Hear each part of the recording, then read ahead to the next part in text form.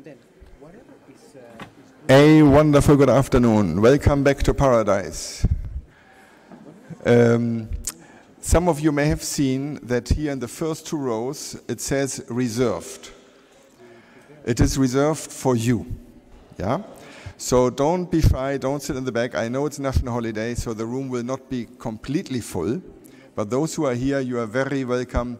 Sit in the first two rows because the reserved is reserved for you. We'll start in about five minutes. We are waiting for two of the panelists for this most exciting story on the logistics of e-commerce.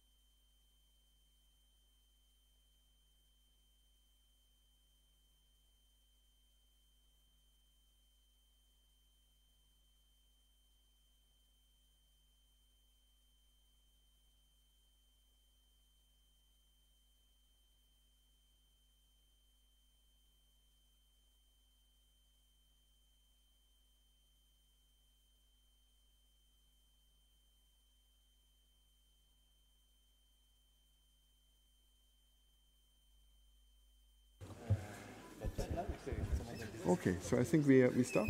Good. And then presentations will be from the podium, right? I think it's, yeah, better, you have more. Okay, a wonderful good afternoon. Thank you all for joining this session on the trade logistics of e-commerce. My name is Jan Hoffmann. I'm chief of the trade logistics branch at UNCTAD. Um, I mentioned earlier we have some places here that are reserved. They are reserved for you, so please don't don't be shy. um, it's really uh, we are quite passionate about this topic. Uh, we love the E in e-commerce, but as you know, you still need some goods crossing borders physically. And there, with new technologies, with global initiatives, with regional and national initiatives, I think we have a very, very rich panel here that will share with you solutions. The idea is to go into a solution. The problems we have heard uh, quite a few about. Of course, before you introduce a solution, you have to share a bit like what is this going to solve. So we have structured it a little bit going a bit from the global to the via private sector to national uh, solutions. Uh, not all of the 10 fantastic panelists fit on this podium, so sometime later we will have a little switch. Um, and one, one last important information for you. When you stand up while speaking, you have 30% more oxygen in your brain. So that's why we just agreed that the panelists, unlike me, you will be standing there while you make your interventions. And um, without further ado, we are co-organizing this uh, UNCTAD with uh, UPU, our, our friends in Bern, both in Switzerland, um, so unfortunately, the, the, initially planned speaker, the Director General, he could not make it, but we have Frédéric Omamo here, expert intégration opérationnelle du commerce électronique. Sorry, let me turn around the card. E-commerce operation integration expert. So let us give one applause to welcome Frédéric, and he'll walk over the Thank you. Less, less, less. And, and uh, I was just asked in very, very low voice, how long do I have? because uh, he, he wasn't in the earlier round. No, the intention really is to, to give you time for questions, discussions. So the, the guidance the other speakers are aware of are seven to eight minutes.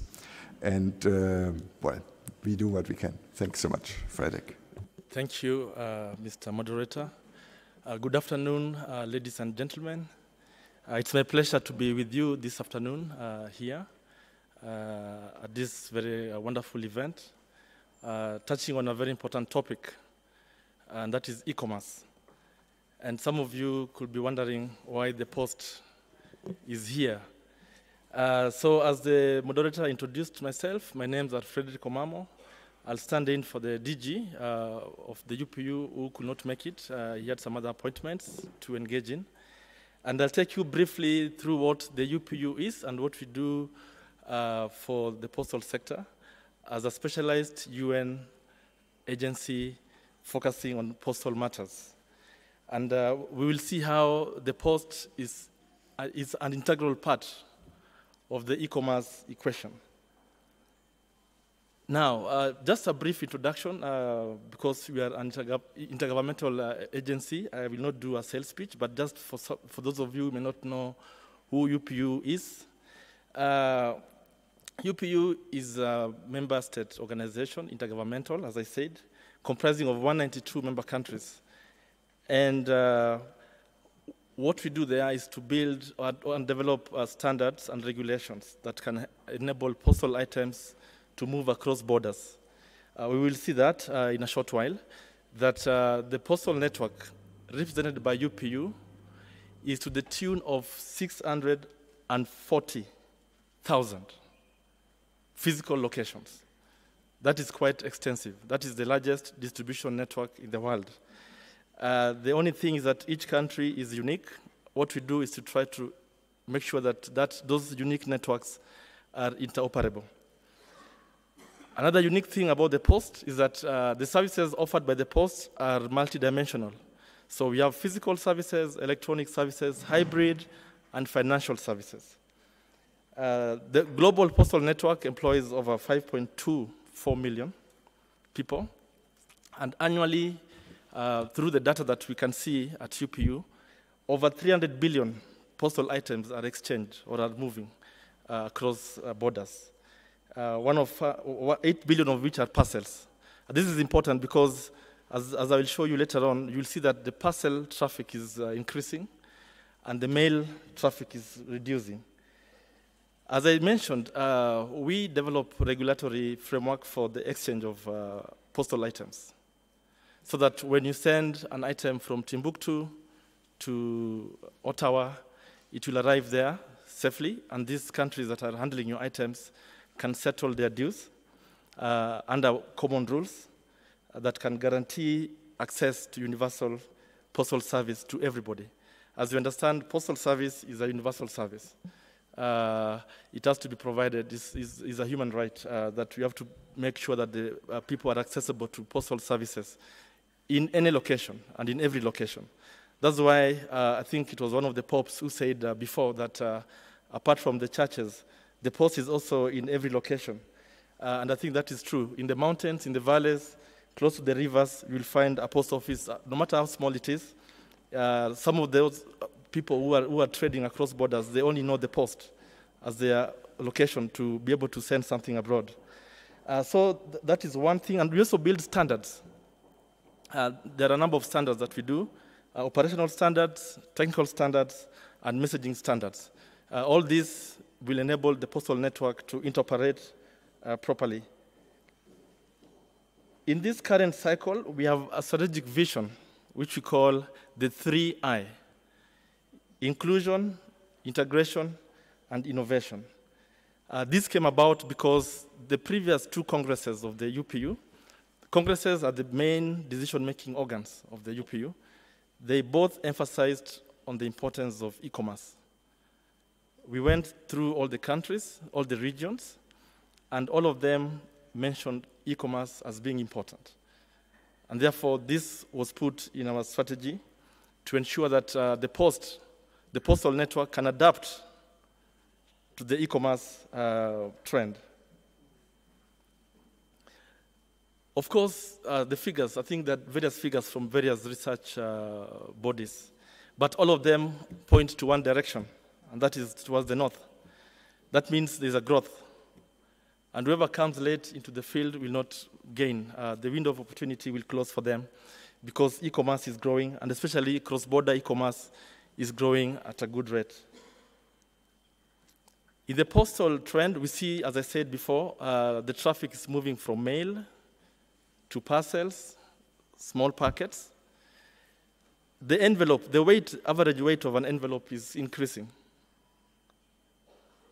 because we allow envelopes up to two kilos, but we see that now the weight of the envelope is moving closer to actually two kilos. That means the, the, the envelopes are carrying goods now. Uh, and we have small packets as well, and we have parcels. So all those point to the fact that uh, low value small items are being shipped through the vast postal network, uh, which is a good thing. Uh, and that points out that uh, uh, the small and medium sized enterprises and citizens are shipping a lot of uh, items uh, through the postal network. This is just uh, a graphic representation of uh, the same message the fact that at the top, the letters are declining, as we've seen over the years, and at the bottom, the parcels are going up. And that uh, is, is a good pointer that e commerce is, is, is driving the digital economy at this moment. A bit about Africa, because now we are in Kenya and we are in Africa. Various research predicts that uh, cross-border e-commerce will grow at an annual rate of 25% between now and 2020, twice the domestic rate, and it will be worth around 900 billion US dollars by 2020. So, although the US, China, and the UK will account for about 60% of that uh, traffic, Africa is the emerging next big thing. And that's why, uh, as you can see from that uh, diagram, we estimate that uh, over 50 billion of e-commerce uh, worth value will be, will be transacted by 2018, that's this year. The population in Africa is also uh, growing in terms of uh, middle class.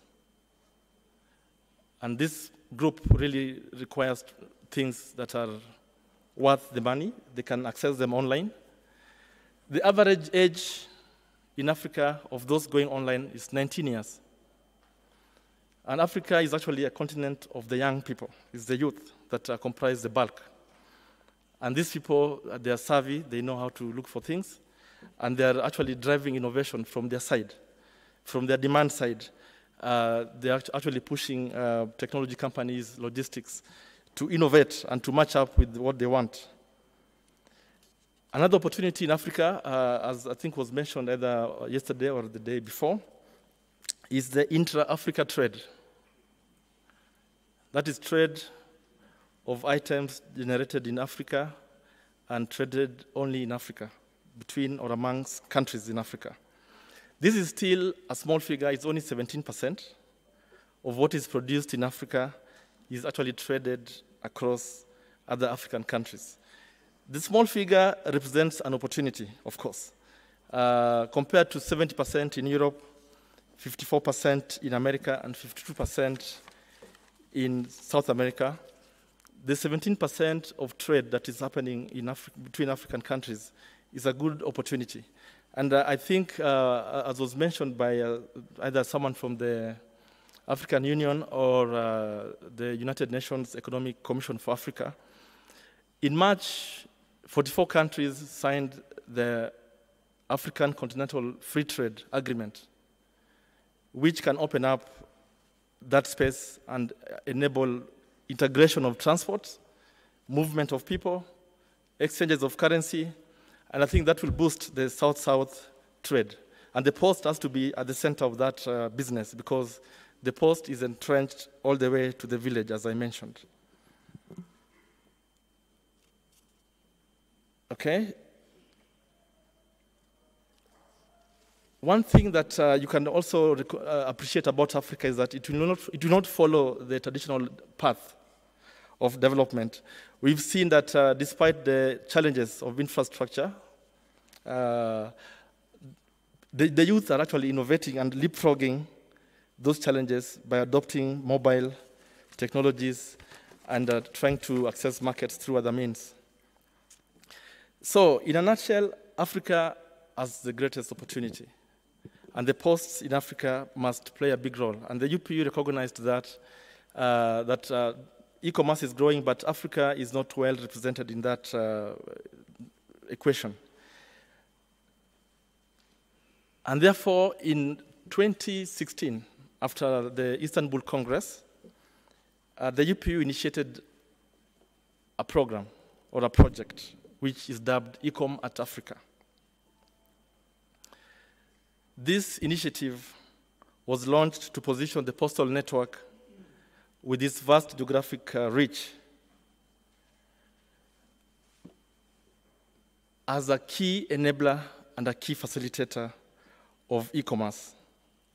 It aims at establishing an integrated cross-border e-commerce ecosystem provided by postal operators through physical e-commerce hubs and integrated with online e-commerce platforms via a suite of IT standards and tools that we've developed, which means there'll be a physical hub somewhere connecting to a digital hub, which enables, especially posts in Africa, to be able to sell things and support things that are being sold online. The main components of uh, this, there are two, as you uh, was mentioned by the moderator. We have the digital part, but items, as we said, still have to move physically. And therefore, the post is focusing mainly on the physical component. And what we are doing under that is what we call operational readiness for e-commerce. We go to a post, a national post, we survey and audit their situation in terms of operational readiness for e-commerce. We advise where they need to improve so that in the next two or three years, they're able to be uh, physically ready. Because the, the, the, the items must move uh, physically. And if the post cannot move those items within the required standard time, then they cannot imagine or dream of uh, going online. And about the digital, uh, I mean, digital component, we tell them you can actually have your own, but this is not a must. You can integrate with existing e-commerce players and just ensure to fulfill orders that are made online. Uh, so that is, uh, those are the main components. And the layers that we, we, we talk about in this initiative, we have the e-shops. We say the e-shops could be postal or third party. These are uh, purely digital platforms. The post can do this in partnerships and to integrate those e-shops with their own backend systems. And then we have the hubs. The hub component, this is where the post can operate a sorting center with a warehouse close to the airport. So the sorting center has automated uh, machines that can sort items fast. At the same time, they have a limited storage for those items that are moving fast so that they don't have to wait for an order. Maybe, uh, for example, in Kenya, if they know a particular item is moving very fast and is coming from a country X or Y, they can already have some limited stock at the airport of those items. And when somebody orders those items online, they just uh, deliver those items within three to five days. And then, of course, the last one is the postal logistics, which is uh, the core competence of the post. They've been, posts have been doing that uh, for a long time, and they're very conversant with how to deliver, how to collect items and to deliver that, and that they can do by themselves. The key focus of this uh, initiative, as I said, operational readiness, supply chain improvement, implementation of IT tools to support with the monitoring data. As you know, e-commerce depends on big data. Without seeing what is coming, knowing where it's coming from, where it's going, it's difficult to actually plan and improve the system. So we do what we call data operational readiness. We, we make sure that the posts are able to capture significant events in the life of an item, from the time the item is collected to the time it is delivered. And then the last one is, of course, the e-market platform. So this uh, representation shows you exactly the movement of items at various layers. What need to be put at the physical layer, what has to match at the digital layer, so that the data is captured and shared with other posts. The data is used internally to manage uh, operations and to improve uh, the system, and also the data is used to provide customers with tracking events. So we have key events which need to be tracked and captured by all of the posts. And this is shared in a pool, in a data pool, and then displayed uh, or made available to, to end users. So this is a big project because uh, different regions have different capabilities in terms of uh, resources they can put in place. And therefore, we, we go up and we try really as much as we can to ensure that the, postal, the global postal territory operates as one. Uh, as I said, these are 192 different networks which have to interoperate, and they have different standards, different conditions in the countries. Uh, but we try as much as possible to make sure that the minimum events are captured in each country. At the moment, the Ecom@Africa initiative is moving well. Uh, last week, uh, I was in Cote d'Ivoire. Uh, we had one week of uh, auditing their system and coming up with recommendations.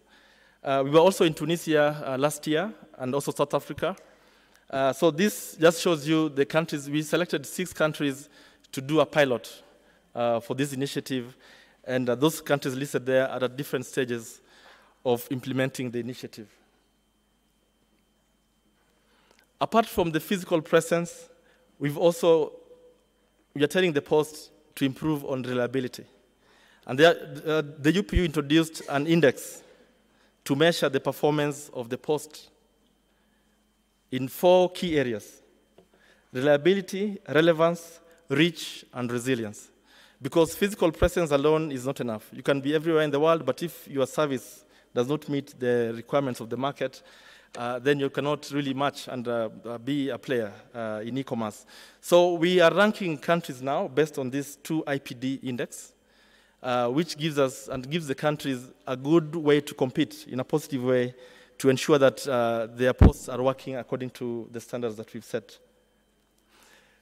That will summarize and end uh, my presentation at this point. I hope it was not long, and uh, I, thank you so much for your attention. Thank you very much. I, I will particularly remember the moving flowchart with all the little bullets. If this was PowerPoint, I want to know how you did it. I love playing with PowerPoint. Uh, so 8 billion uh, parcel business, that's quite a big. Some of the things you said reminded me of the time when the paperless office was introduced. When people started, there was the, now the, the computer. And all of a sudden, the fair price of paper producing companies dropped totally because everyone knows who needs paper these days. We all know how easy it is to click print and kill another tree. So uh, we have produced more paper since the paperless office started. And I think by the same token, the, the post, you were worried that there will be fewer, uh, yeah, uh, less demand for your services, but then the, the parcels came up. So I think that was a very uh, yeah, good, good starting point.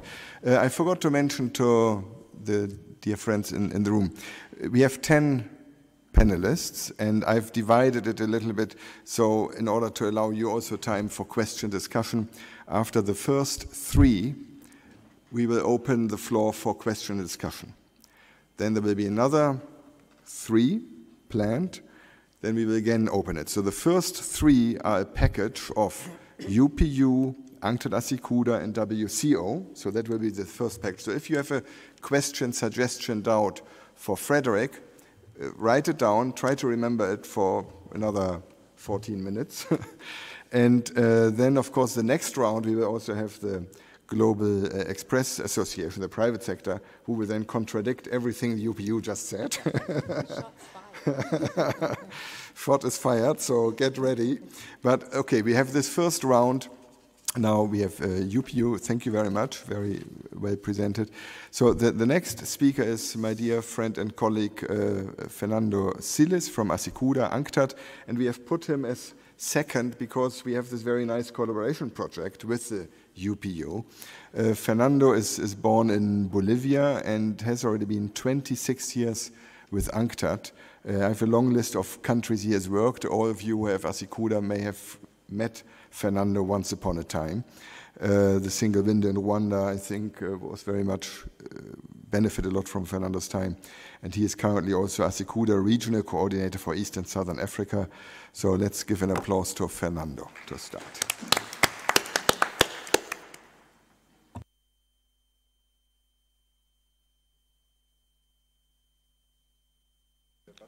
Okay, yes, now. Thank you. It's a pleasure to be here. Thank you for the introduction, my dear Jan. Um, mine is uh, very simple. It's to talk about the ASYCUDA world as a tool to facilitate e-commerce. It is important to know about some figures. Uh, most importantly related to the operations that we have in more than 90 countries using the ASYCUDA system in the world. About 15 million customs declarations every year, about 50 million transactions every year, about 100,000 uh, 100, trained users in the world, uh, about uh, 22,000 computers or more being used for the, for the uh, ASYCUDA system. Um, we have more than 30 years of experience. ASYCUDA is a, is a custom system. Its, its primary use is, uh, is for, for customs purposes, but in, in the last years, it's, it's been used also for creating uh, single window concepts. ASYCUDA is, uh, has a platform, and we have building blocks. As in the platform, we have an integrated customs management system. Uh, we have a common repository. We have a single window portal. We have the EDI uh, platform.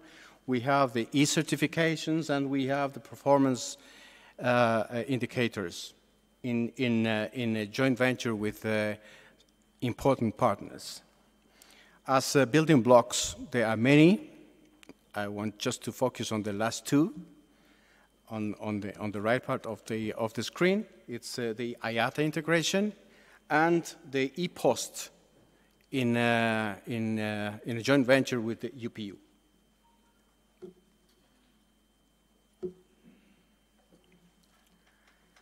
Why is ASYCUDA uh, a tool for e-commerce?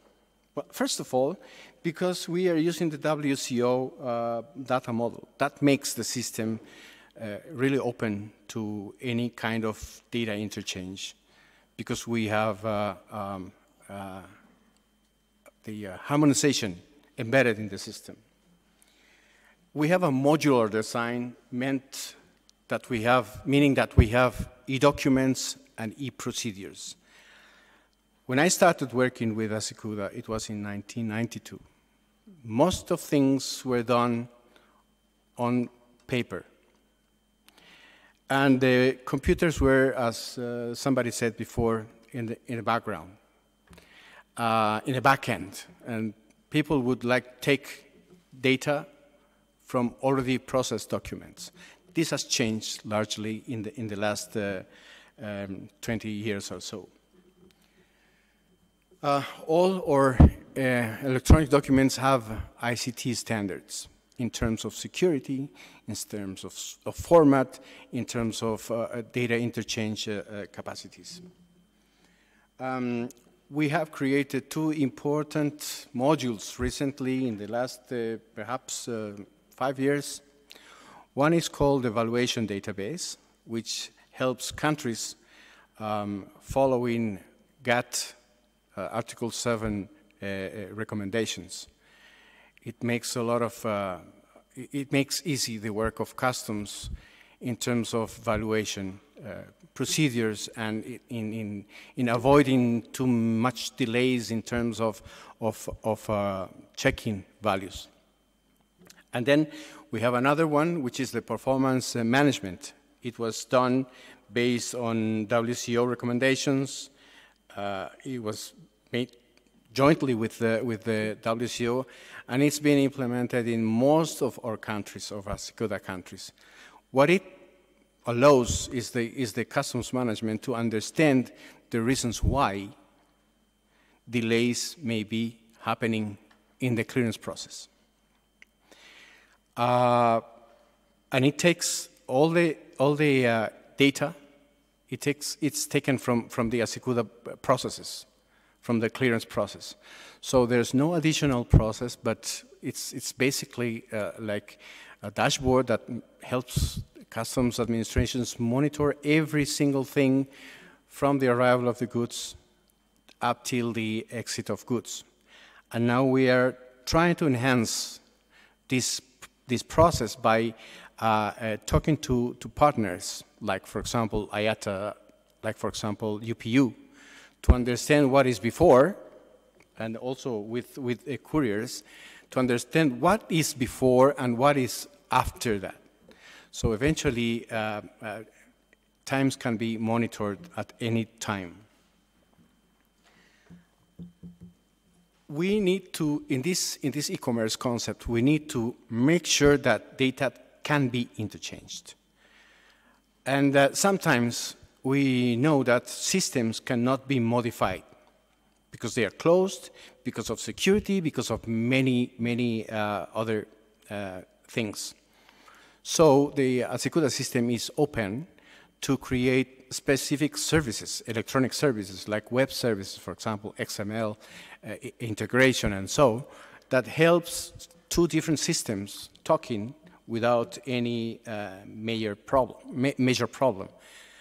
Uh, the e-payment is one of the examples. Uh, we have many versions of e-payment in all around the world, some of them similar, some of them taking other concepts, but the good thing is that ASYCUDA and the banks are not modifying their systems at any, at any moment. We're just creating the services that allow systems to, to talk.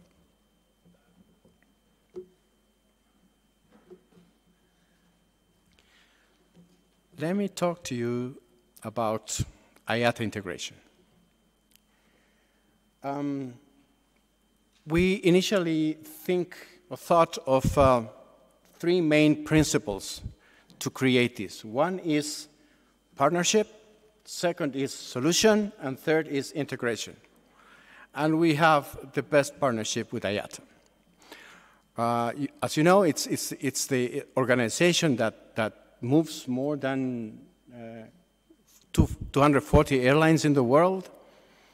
The, the, the good thing of it is that they, and since many years ago, they have all the information about manifests, about uh, airway bills, and um, in the past, uh, this used to be submitted to customs upon arrival of, of, uh, of the aircraft. And then customs would, would start processing manifests. Nowadays, we modified ASYCUDA to get the IATA uh, messages and integrate them into the system as, as the manifest. What happens is actually when uh, an aircraft is departing from the country of, of, uh, of departure, last modifications may be made in the IATA system. And that very minute, the ASYCUDA system is receiving that information. When the aircraft is landing, ASYCUDA already knows what is coming. What is coming for the country, what is coming to be in transit, what is coming to be transshipped. This is a great advantage. And reduction of, of, of uh, clearing times has been, uh, has, has, have a great impact on, on, on, on this, um, with this implementation. Of course, there's more. We, we, need, we need to work on something else, but uh, let me tell you about this later on. Integration, what, which is the, the, the, the, last principle, is that at the moment the, aircraft lands in, in, the, in, the, in the arriving country, the system has the manifest ready for clearance. So the only part is the, the, the, small part, the physical part, that is location of goods, and eventually it's the um, um, confirmation of arrival.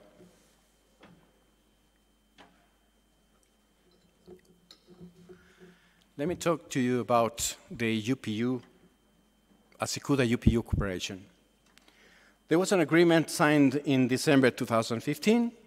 There was a project agreement signed in 2017. And thank you very much. And there's a pilot being uh, uh, rolled out in, uh, in Gibraltar by this time. It's, they started in August this year. Main project activities is to integrate some messages from the UPU system. My, uh, the person who spoke before me, he mentioned many things about UPU. Something that I would like to un underline is the value added of all this process that is before the, the exportation of, of parcels.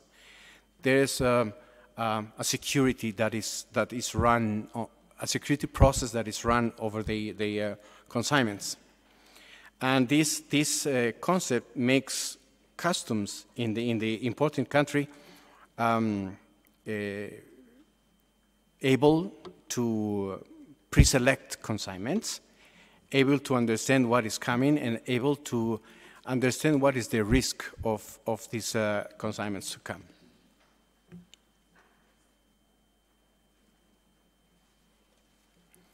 The first thing, and all uh, UPU users, all postal uh, users may be uh, familiar with this um, uh, CN22 form. With the introduction of, uh, of this um, joint venture with, with UPU, ASYCUDA modifies this, this document and it, it creates the electronic version of it. Having the electronic version is not only copying and pasting the, the, the, the, data from the paper to, to the system, because it also has, has other possibilities, like, for example, attaching documents, uh, um, invoices, uh, uh, even pictures, whatever, and uh, allowing customs to understand what could be the, the risk of, of having these, uh, these parcels arriving in, in, the, in the country?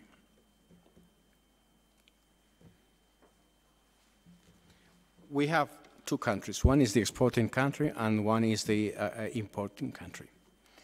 In the exporting country, UPU plays, uh, uh, plays one big role, which is getting all the information from, for customs, analyzing the information for customs, and eventually creating the export declaration for customs. So there's no need for additional paperwork to create the declarations. When the goods arrive in, in, in, the, in the arriving country, we have now the IATA uh, uh, integration. That because of that, we know exactly uh, how many parcels are coming for postal uh, uh, um, uh, declarations. And then there's a second role that is played by, by UPU. Because, because they were able to get information from the uh, from the country of exportation, they can reuse that information in the country of importation, minimizing, their, therefore, the, uh, the, um, the necessity of duplicating information. At the end, customs processes and procedures will continue, and uh, uh, final users of, of postal uh, services will be much more happier because they will understand that procedures are faster, Perhaps they will understand that they, they, there will be no additional costs for, for their uh, delivery or, or the, process, the, the process of clearance goods, and so.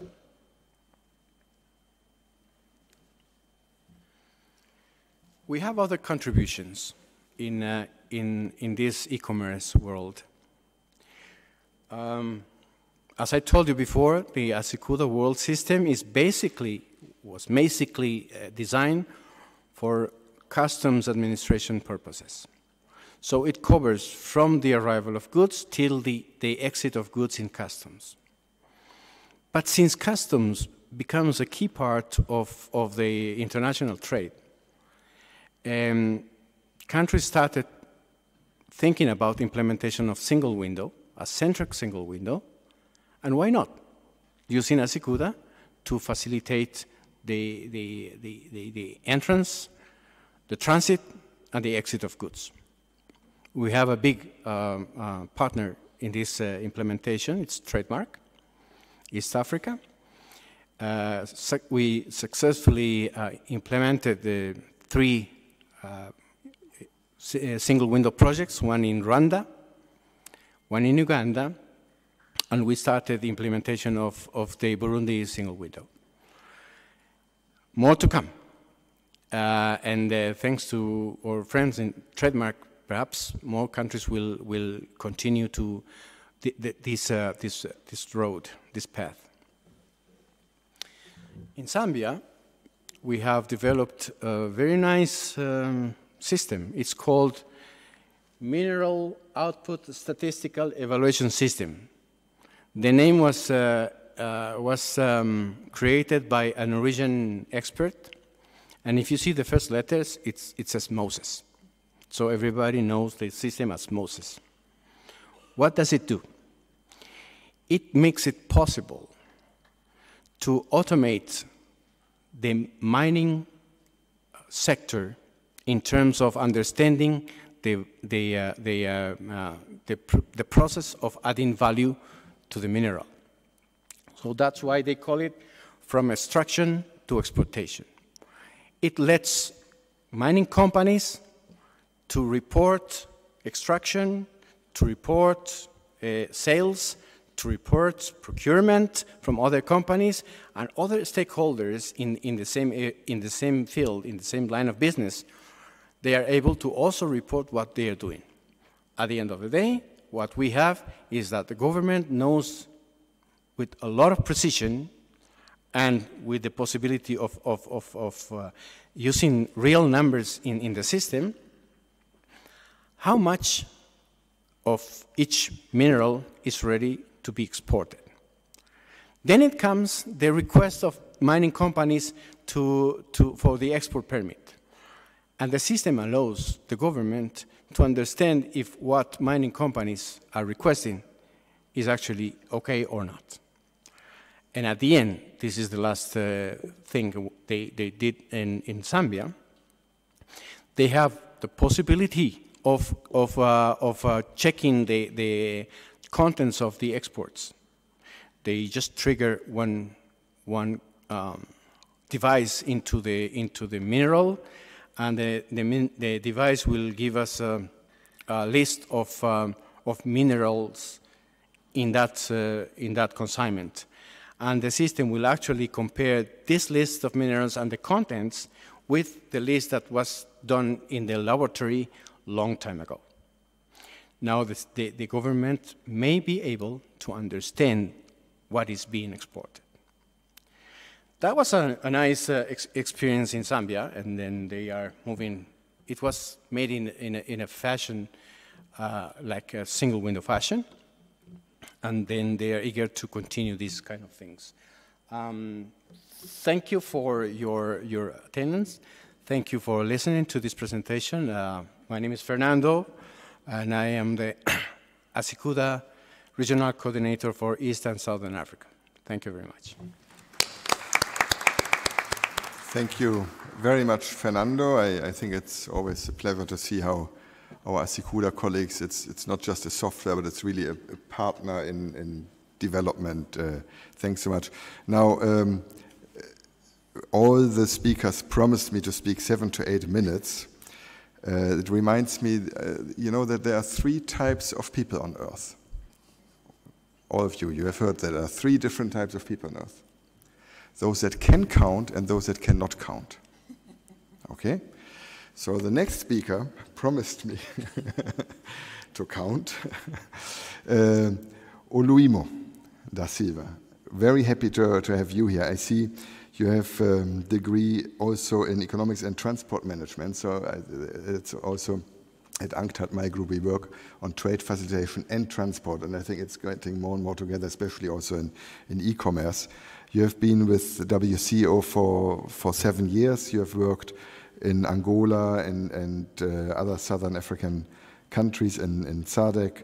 So uh, very happy to have you here from the WCO's perspective. And, and I would still also, even though you don't have a PowerPoint, I would still encourage you to, to speak from there mm -hmm. because you have 30% more oxygen in your brain when you stand up. Yes. If, if you feel like, I mean, you want to remain seated, but I, I think I would encourage you to. I think I have, have actually organized myself. Uh, okay, you have the notes there, and so okay. So we allow uh, our dear friend um, Oluimo to remain seated, if that's yeah. okay with the audience. Yes. Okay. Sorry. Um, Thank you. good morning. Uh, not good morning. Sorry. Excuse me. Uh, good afternoon.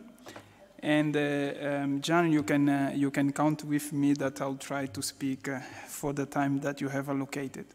Um, once again, good morning, uh, the um, um, uh, friends that are here to attend this session.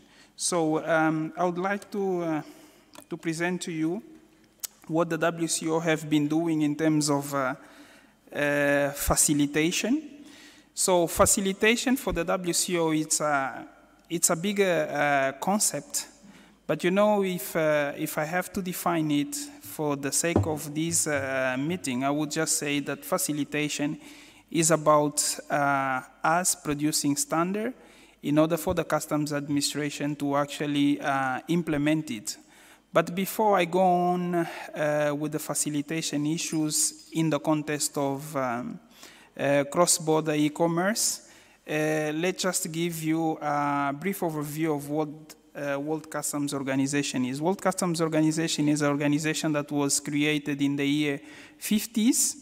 Uh, the organization is based in Brussels, and currently the organization has 183 uh, members. The last member to, to actually join the organization was the um, Republic of, of uh, Suriname.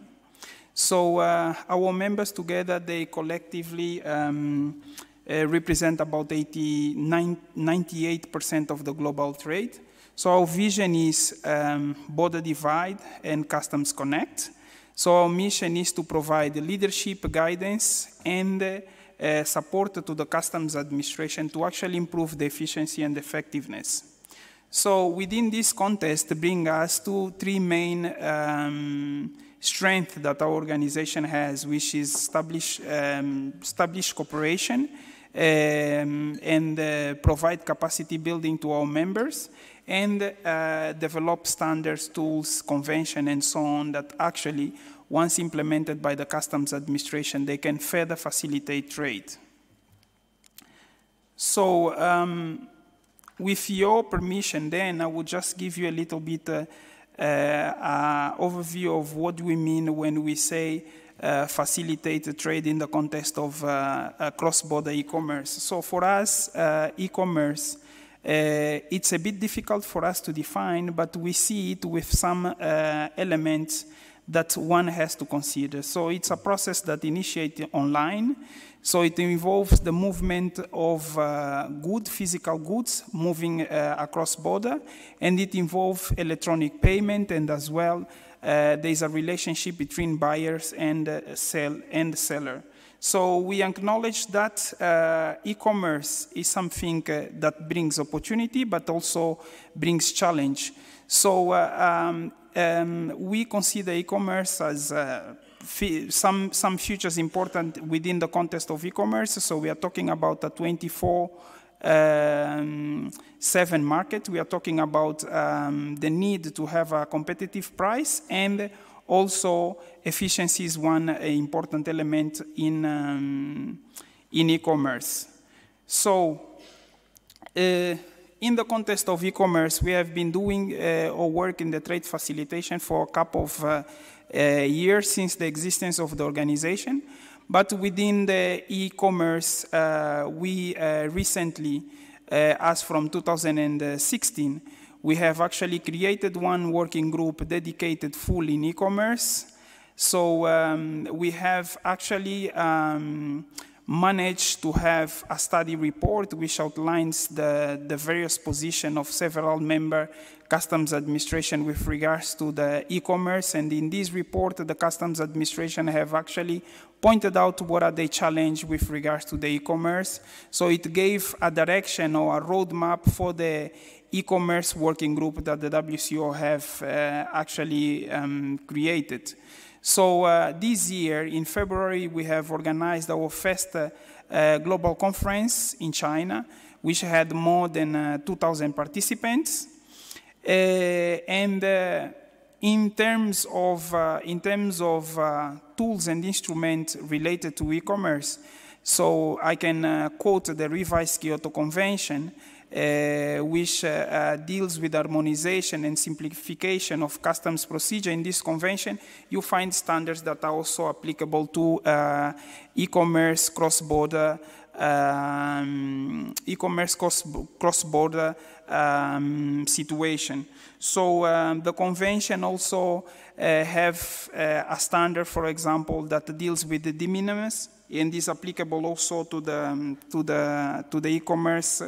Uh, in the context of e-commerce, so we also apply or promote the trade the trade facilitation agreement of the WTO, and uh, um, I just would like very quickly to um, inform you that uh, very recently we have concluded a guideline that deals with immediate release, uh, immediate release, and we also have uh, managed to conclude a resolution that outlines seven principles uh, that are applicable strictly in the context of, uh, of e-commerce. And from this resolution, from the, the, the, resolution that have these seven, um, seven principles, we have, uh, we manage actually to conclude a framework of standard applicable to uh, e-commerce operation, which actually has uh, 15 uh, global standard uh, emphasizing on things like uh, customs, the need for the customs to introduce de minimis, the need for the customs to expand the concept of authorized economic operator, even to operations of e-commerce, risk management, and uh, uh, the need for the customs administration to make maximum use of uh, non-intrusive inspection and uh, artificial intelligence actually for the sake of um, uh, speed up operation in regard of uh, e-commerce cross-border uh, trade. So uh, we still have some work to be done, but uh, probably uh, we are envisioning that uh, next year we will do uh, further work.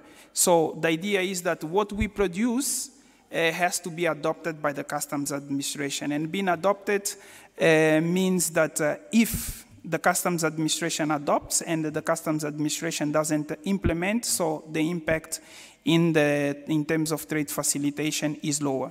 So I also would like to, uh, to say that within this context, we also have some, uh, we have MOUs with uh, UPU, we have MOU with uh, Global um, Global um, Express, uh, uh, with Global Express, we have also with IATA and UNCTAD. So thank you very much. Thank you very much, uh, Oloimo. Uh, muito obrigado. uh, in, in, one of the earlier sessions uh, where, where Anna, uh, I think your director, no, she, she, also had a discussion on the de minimis. Maybe that's something to, to discuss further. So we would have now five, maximum 10 minutes time for questions, doubts, corrections, uh, and I see already, uh, yeah, thank you very much. And if you could briefly introduce yourself and then comment or ask your question. Thank you. Thank you very much, uh, Ch Chairman. Uh, my name is Mrs. Job Noge. I'm a program coordinator in African Alliance for E-Commerce. Um, I would like, uh, first of all, thank you for our presentation. I would like to just uh, uh, ask a question to Mr. Silva and also Mr. Omamo.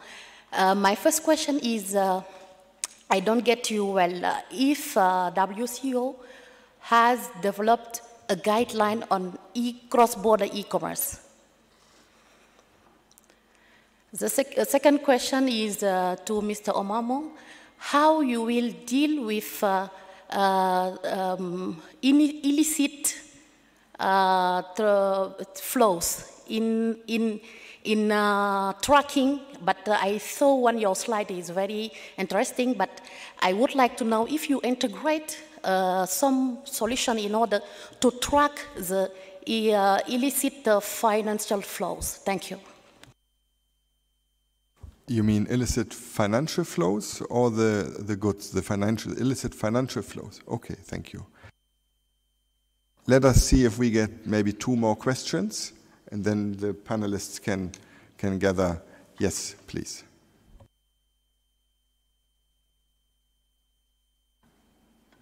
Good afternoon. My name is Charlene Nafula.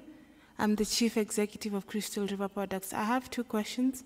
One to Mr. Frederick. I'd like to know how advanced the UPU system is, and in case someone would like to start trading, how easy is it for it to use the system or a partner with the UPU? Uh, my second question goes to Mr. Ferdinand. I'd also like to know how hard or easy is it for a startup e-commerce site to partner with Analytica, and what are the nitty-gritties involved in the partnership? Thank you. Um, your second question was for whom? The first question was. The, se the second question was for. Mr. Ferdinand. yeah, Mr. Yes. Fernando. Fernando. Okay. Sorry. Yeah, sorry. Okay. And Fernando got the question? Good. We have a third question, comment. I see. Please wave uh, strongly. Uh, i am getting old, but I see the, the hand over there. Please. Thank you, Mr. Chair. My name is Unyabu Legbosi uh, from National Association of Nigerian Traders. Uh, my question goes to the custom uh, rep who just finished his presentation.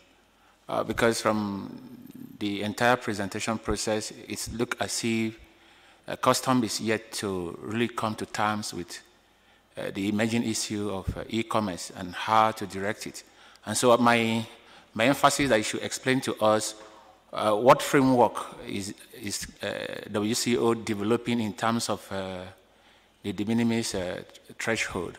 Because it's a concern in, in the, within the context of uh, e-commerce. And then uh, what's customs definition within the context of e-commerce and physical goods?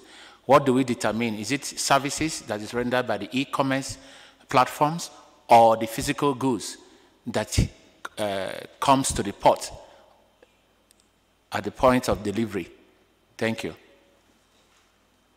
Thank you very much. And at the very end, okay. Um, I see three hands, and I will close after those three. Sorry, I didn't see the last one. We have to, to move on. Mo so the first row here, please, and then the lady in the back, and then the hand I saw here. Thank you. Um, my name is Machuki. First question is um, uh, to UPU, uh, of course, also partly a recommendation. Uh, the kind of systems you are building, and of course that you have uh, at the end of the day the postal corporations, and we are insisting on in, intra uh, trade, especially e-commerce, and inter trade within African uh, region. Uh, how good are we stationed to help governments, especially uh, governments in, in, Africa, to develop a framework on the national addressing system? Because that's a major problem on delivery of uh, e-commerce uh, services, and also on legislative framework, because most of the countries uh, perhaps do not even have legislative framework, and of course the national addressing system uh, framework, which is quite important. Uh, two is on ASYCUDA uh, question. Uh, there's a single window system and there's ASYCUDA system. I'm, I'm trying to really understand how they complement each other or if there's any conflict or how they partner to ensure that all these issues on e-trade are, you know, in one Okay, thank yeah, thank you for that question. The lady in the back. Thank you very much. I'm Sanya Reid Smith, a trade lawyer at Third World Network. Uh, Mr. Moderator, you said maybe de minimis is an issue to discuss further, and I wanted to echo the concerns raised by Legbosi about de minimis because I understand this session is about logistics, but of course, governments have many goals. For example, they might need to collect revenue for public services like subsidizing life saving medicines. And at the World Trade Organization, the US has an e commerce proposal that all WTO members raise the de minimis below which things come in tariff free. Um, and for example, in the US, their de minimis is 800 US dollars. But in Ghana, it's $2. So if Ghana has to raise it to 800 US dollars, then that's a lot of stuff that comes in tariff free. So when one developing country raised their de minimis, they lost so much tariff revenue because the importers cut up the shipments to come below the threshold and the e-commerce packages come in one dress at a time that they had to lower it again because they lost so much revenue. And of course we know here that for example 24% of Ghana's government revenue comes from tariffs. For Cote d'Ivoire it's 48%. So it's one thing for an OECD country like the US to raise it, but they only get 1% of their revenue from tariffs, whereas in uh, uh, low-income countries, according to the International Monetary Fund, if they cut, if they lose tariff revenue, at best they make back 35, 30% of that lost tariff revenue, even if they introduce a value-added tax, which of course is 28 countries in Africa. And for middle-income countries, the rest of Africa except Seychelles, the IMF says best you make back 45 to 60% of that lost tariff revenue. So while I accept this session is on logistics, governments also have to consider it much more holistically mm. and not just the impact on lost tariff revenue, but also how much more imports would come in if the eight, less, everything less than $800 comes in tariff free, including things like tobacco and alcohol. The Ministry of Health might have something to say about that because of the impact on their tobacco and alcohol control policies mm. if 800 US dollars of cigarettes comes in tax free. Thank you. Yeah. yeah. No, and question is admitted.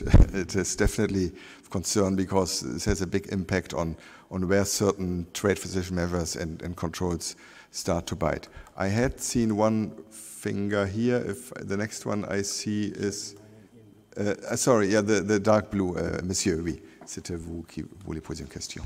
Pardon. Merci and, and, de m'accorder la parole. Thank you very much. My question is to the uh, member of UPU. Have you taken into account the costs?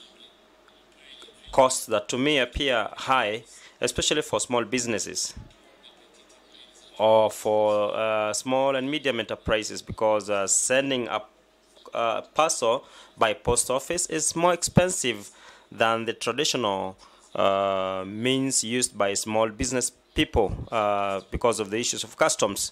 The second aspect on UPU, does your system take into account the issue of uh, returned parcels because sometimes uh, the goods sent are not sold as such uh, or accepted by the client And therefore, this issue of managing parcels that are returned to this the sender, are they taken into account by the country or by the demands by the client? That's my question. Thank you very much, Chair.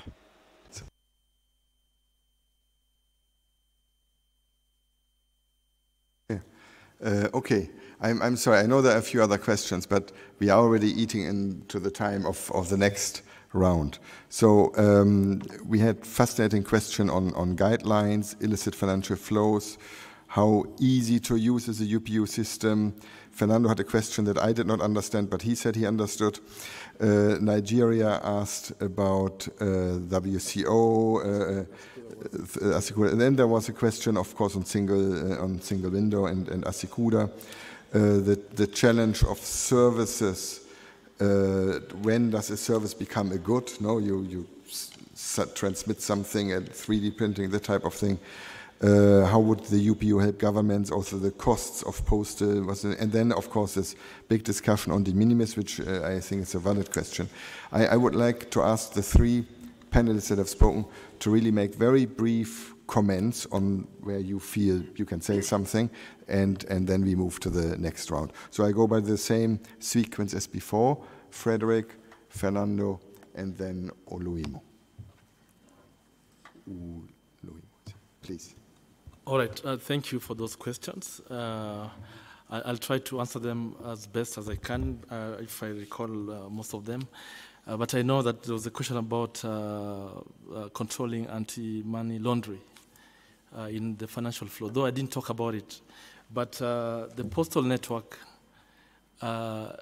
represents, is the second largest financial service provider, offering uh, bank accounts and access to the financial network to 1.5 billion people uh, across the world who would otherwise not have access to these uh, financial uh, services. Having said that, uh, the UPU has developed a, a, system, a tool to help uh, member countries to be able to provide money order transactions and other means of transferring money electronically. And it makes it easier to actually implement the AM, AML by checking, first of all, on the amount that someone is sending out and the frequency of uh, this person, how much they're sending per day. Uh, just like what uh, M-Pesa has managed to do here locally uh, by putting limits uh, on the amount of transactions that can be done by one person. So those are the simple steps uh, that can be done to detect any illegal flows in terms of the money. I thought your question was more on dangerous uh, illicit flows of uh, parcels, but financial also is fine.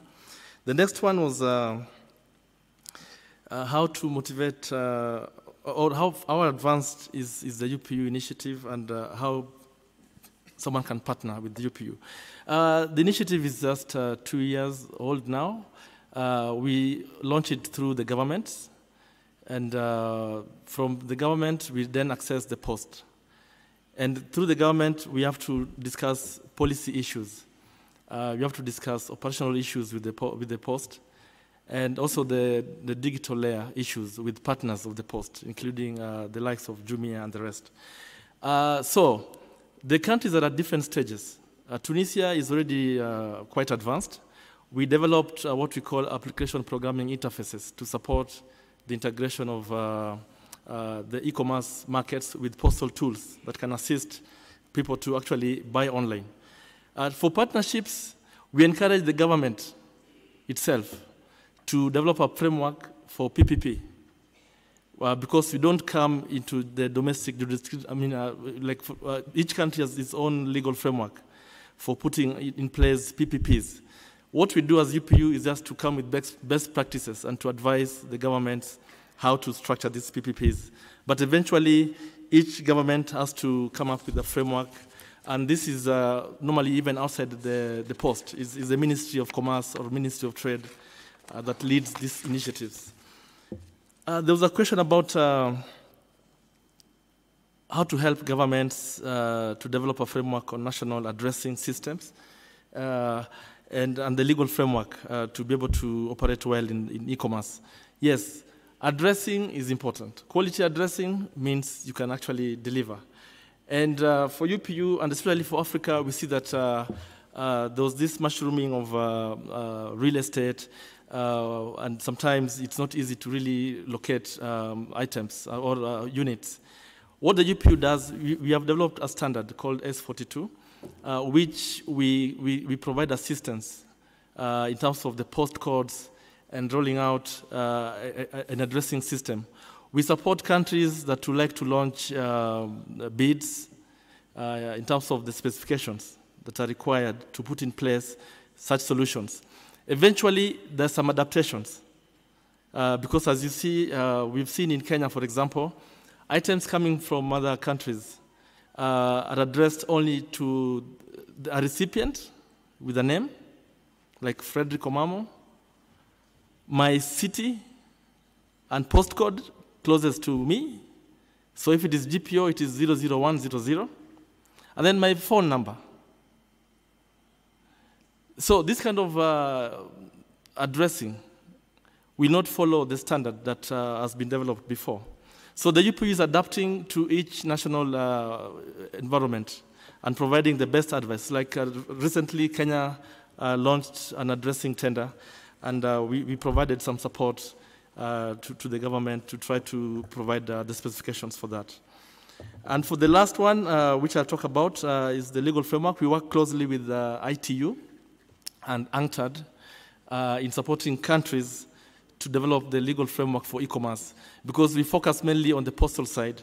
but on the e-commerce legal framework, ITU and UNCTAD are providing us with a lot of support. They do country assessments, and there's a project we did with, with UNCTAD in Egypt uh, to support them in building a national uh, e-commerce policy and uh, legal framework. Uh, so we do that, but through our partners uh, at the international level. Uh, the last one about the cost of transmitting items, sorry, that, that has to be managed domestically. because if it is international exchanges, there's a, a set of limits that we have already defined. But these are also being put on the table. Uh, as you know, there's been discussions about the rates that we put up there.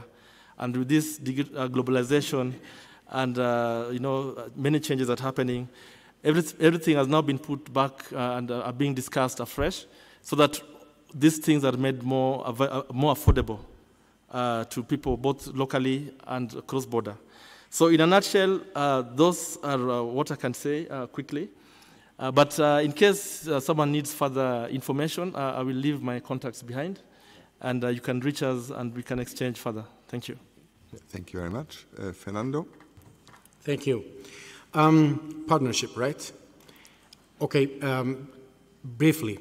UNCTAD has just released a new guidelines for partnership, and will be, this will be put online if it's not yet there, and you will follow. You can follow it um, case by case and, and, and, process by process. But the partnership I spoke about uh, during my presentation was pretty much like a natural partnership. Uh, who would be able to deal with, uh, with air transportation manifests better than IATA? So it was natural. Who would be the best, uh, uh, um, um, say, partner uh, developing uh, um, um, a measurement of, of, of, uh, of, um, of activities, it would be WCO. And we followed most of the WCO um, considerations on that. Finally, who would be the best partner to develop uh, postal services? It would be UPU. Now, having said that, uh, we are also interested in having the, uh, the, the, private sector like for example DHL or other uh, couriers to uh, create the perfect environment to allow faster um, deliveries, to allow uh, easier procedures. And um, I, I, hope I, I, I um, answered your question. On the, uh, the uh, person from Nigeria talking about ASYCUDA and single window. ASYCUDA is, as I said, is, the, uh, uh, is a system that was designed to cover all operations in, in customs. If you read the, the concepts of single window, there's a part of it saying that customs is the natural gateway because it allows imports, controls allows imports, it allows controls exports, and it works with transits. Um, that's why in our countries where, where we have ASYCUDA, they uh, requested to implement an ASYCUDA, a, a, single window system based on the same concepts and based on the, on the uh, technology that we have and based on the, perhaps the, the capacity of design that we want, BPR, uh, SRS, all this, all this uh, technical stuff. So um, I'm not saying that ASYCUDA world is, is single window. I'm not saying that single window is ASYCUDA world. What I'm saying is that both have to interact. Okay? okay. And I can say uh, uh, we, we, have a nice project also with the WCO uh, funded by, by UK. We, we, do a lot of things together. And I know that WCO, not because we suggested, but, but you chose to fly in uh, delegates, uh, customs experts from a number of other countries to Uganda and to Rwanda as a good case. And these are ASYCUDA single-winded. So I, I, support this little UNCTAD sales pitch here. Uh, okay, yes, Olu Imo, your thoughts on the questions. Uh, thank you. I've got about three questions. One of the question was um, uh, a little bit more if it's a guideline or, or, or if it's what, um, what the WCO has as a unique tool to deal with, um, with um, e-commerce cross-border um, consignment. So I would like to just uh, ratify that it's not a guideline, but it's rather a framework of standards. So it's a little bit deeper than what a guideline is. And this uh, framework of standard has 15 standards based on all the, the, the, seven principles which I have just made, uh, which I just um, made the reference when I was uh, making my presentation covering aspects on facilitation and simplification, security, revenue model, partnership, the need of partnership and the need of uh, uh, public awareness and uh, outreach and capacity building. So uh, the idea of this um, framework of standard is actually to uh, shape up the customs policy in respect of, uh, of e-commerce. So, so to say, to improve the efficiency of customs administration around, the world when it comes to the time of uh, e-commerce uh, cross-border um, uh, consignment. So uh, there was a question in respect of. I will start with the with the question on the on the what we mean by by e-commerce. Are we talking about goods? Are we talking about software? So I would say that, or uh, another aspect that I would bring, or are we talking about service? So from the customs perspective, when we talk about uh, uh, e-commerce, uh, cross-border e-commerce, we are just referring to the physical movement of goods. But uh, often when we refer to goods, because goods normally are moved by the means of transport and by uh, by people. Of course, we also have actions with regards to people and the means of transport. Now, in relation to the, to the question that uh, was raised on the issue of de minimis, uh, I would like to say that de minimis, uh, it is a, a, transitional standard outlined in the revised Kyoto Convention on, the, on chapter, chapter 4 related to duties and, and the tax where the convention actually um, specify that customs administration shall uh, make um, shall refer to minimum value, um, minimum value or minimum amount of duty and tax that customs should not uh, uh, collect uh, duties and tax. So the idea of this is to dissuade the customs administration to collect revenue with regards to uh, transactions, so to say, that have a very low uh, value. So for some countries, this is something very difficult for the WCO and for, for the members to reach at the common uh, point because uh, I, I heard somebody making comment in respect of uh, some countries uh, were facing leakage in terms of revenue. Yes, this is true, and that's why the WCO finds it very sensitive matter and allow the custom, each customs administration or country to uh, determine their own uh, level of de minimis. Uh, if you look, for example, I heard that the US, the de minimis threshold is about 800.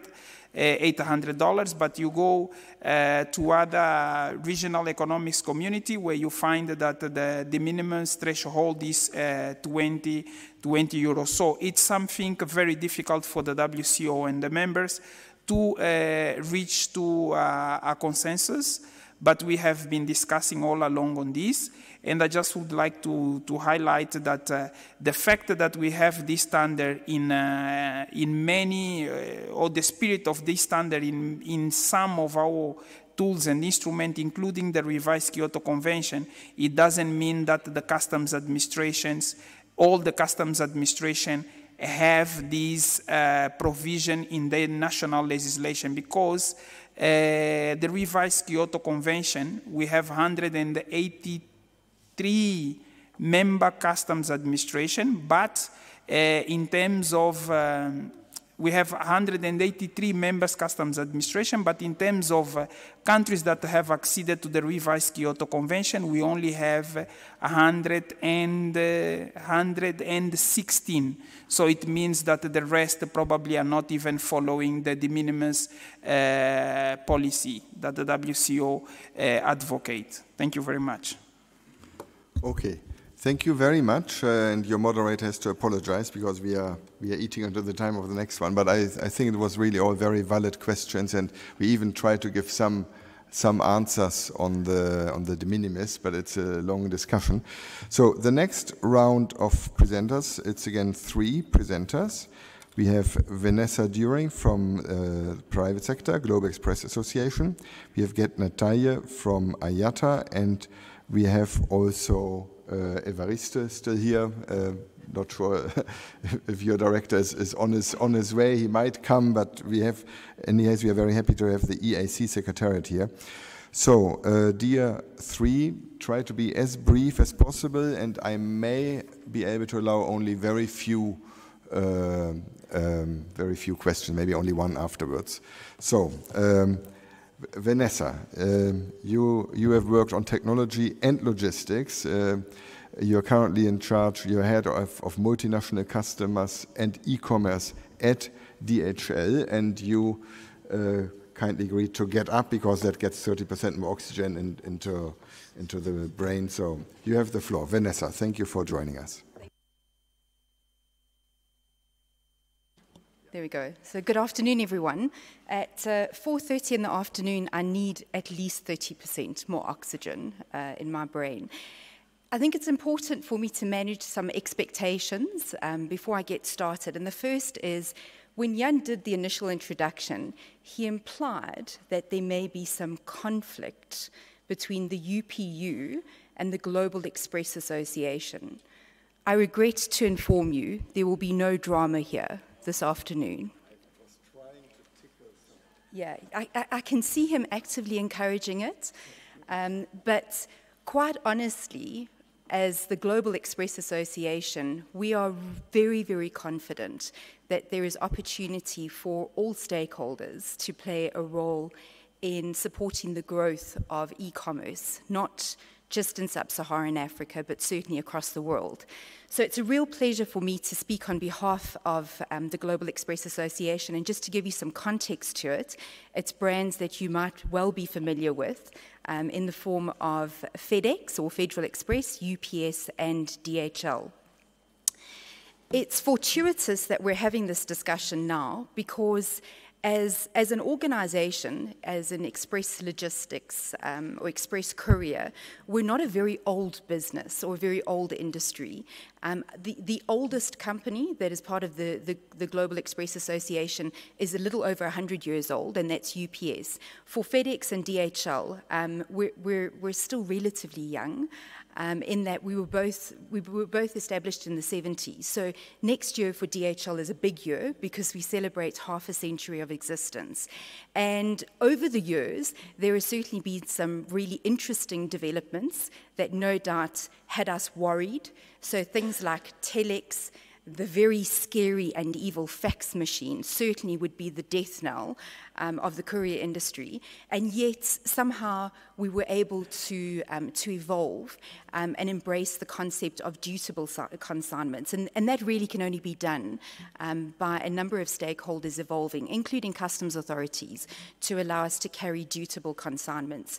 The net result is that the, the e-commerce revolution, so to speak, is forcing us to reinvent and reinvigorate ourselves in a really positive way. And certainly not within the same time frame as we may have responded to the fax machine, for argument's sake. It's much, much quicker than that. And within our business, we often talk about the concept of building it and flying it at the same time because we're having to respond really in a very agile way to what customs require of us, but more importantly, what customers require of us in terms of the e-commerce delivery experience. Um, and so as a result of this evolution, where DHL's business, for example, has changed, is we've historically been built as a business to business service provider, um, carrying documents and parcels cross border. Um, we focus on eight sectors, so it's traditional sectors that you would identify with, like the energy or oil and gas sector, technology, financial services. Um, we're now in a position in 2018 where the e commerce sector is our fastest growing sector out of all of them and is a little over 20% of our global volume. So, so please don't for a moment, don't think that we, um, we take for granted the fact that we've got to invest a huge amount of effort and energy to make sure that we understand what's needed and that we're responding accordingly. So, what we find in speaking to customers is that there are some absolute, real, as well as perceived barriers to entry. Um, the most common barriers that customers will share with us is firstly, what is the rest of the world like and what does it involve to send something outside of my city and my country? The second um, biggest barrier that we find is related to the scary thing called customs. So what is what is duties and what is taxes? What are prohibited commodities and what are restricted commodities? And the fact that I, as an entrepreneur, definitely don't want to get in trouble um, by upsetting customs anywhere.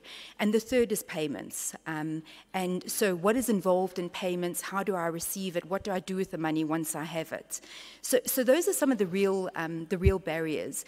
Fortunately today I'd like to focus on really more some of the innovations that we've um, that we've adopted to overcome some of the, the more obvious challenges um, that were experienced in the rest of the world and to a large, uh, to a large extent are experienced here.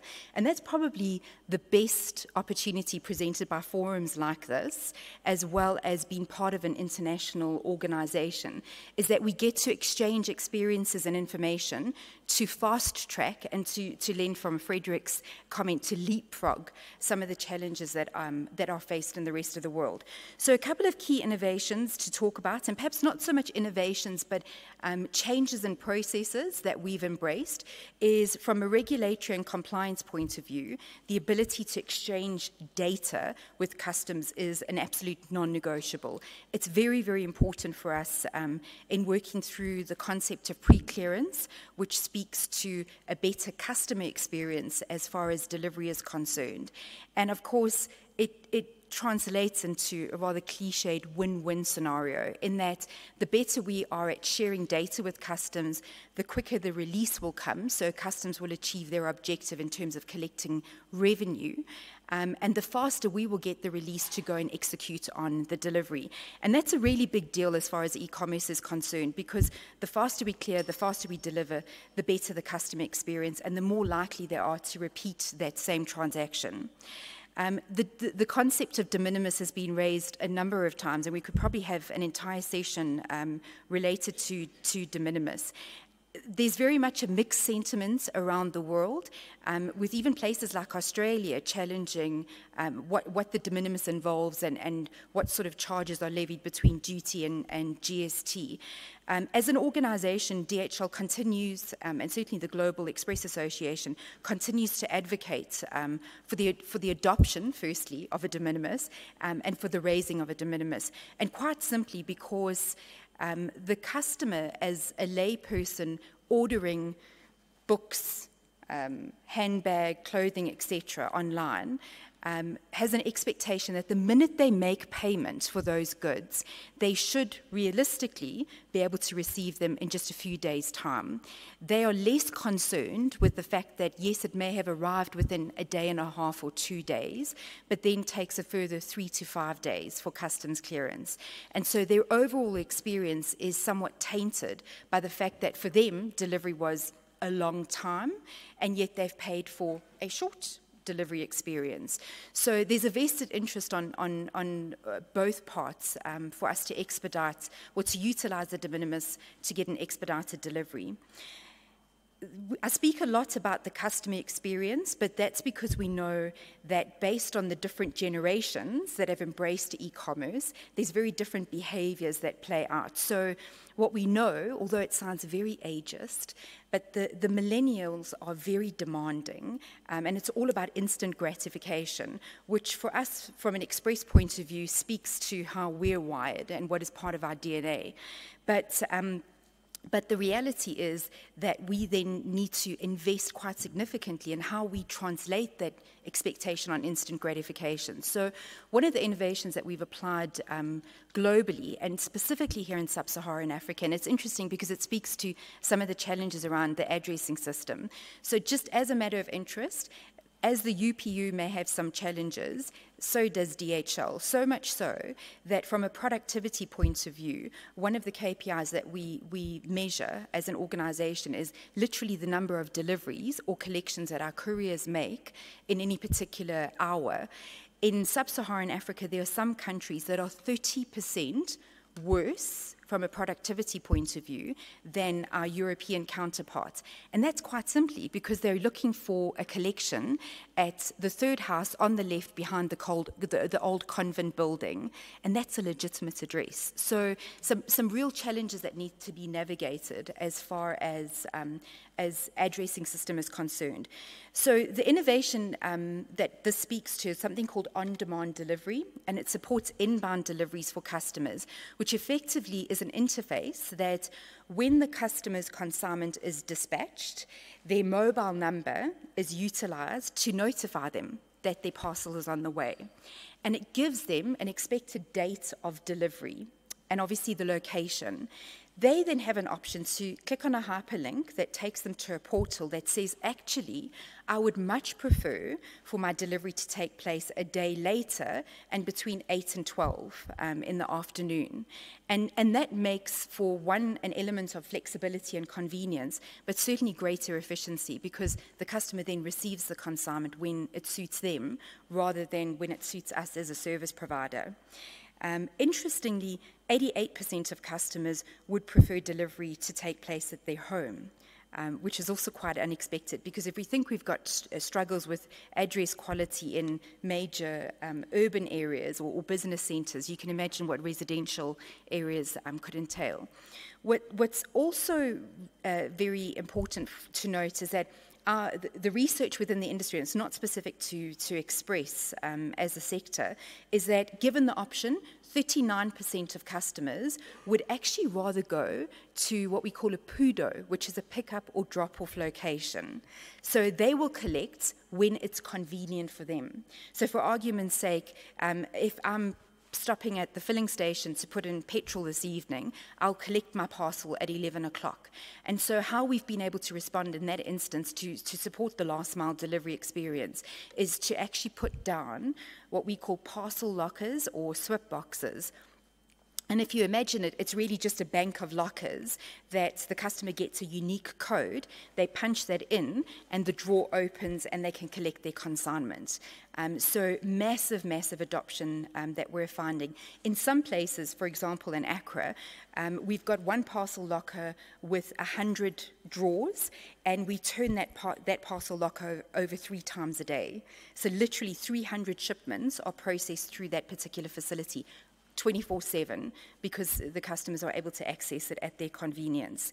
Um, just two last points, if I may, is around the traditional pain points that do relate to duties and taxes. And it needs to be said that as a Global Express Association, we are not anti duties and taxes. We absolutely get it. Uh, we make a lot of effort to understand what's required from us in order to comply with customs expectation and, and the revenue objectives of countries. Um, but where we see the opportunity is to make that a less painful process. So we're able to support two scenarios. When customers send consignments with us, they have the option for their customer to pay the customs charges or for us to support them to collect those charges in advance. Um, and, and that speaks again to a better customer experience. It places a huge burden on us in terms of having to understand that a handbag sent to France will attract 8% duty and 12% VAT, for instance. Um, but that's part of the consultative process that we use when we are engaging entrepreneurs, is to say to them, we have access through, you know, to, to this information through our global network. Let us help you to navigate that uh, far more effectively than you may do um, on your own. So advanced duty collection and um, duties and taxes paid is, is, a big, uh, is a big focus for us.